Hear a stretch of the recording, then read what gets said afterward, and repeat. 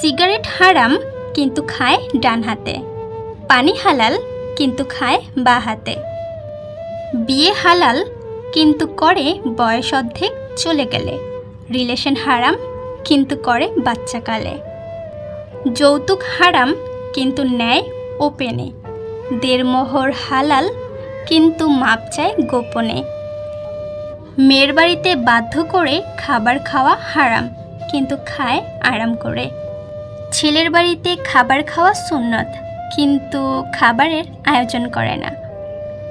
বিয়ের ক্ষেত্রে দেখতে বলেছে দিনদারিতা, কিন্তু দেখে আধুনিকতা। আসলে এটাই হচ্ছে বর্তমান জামানা।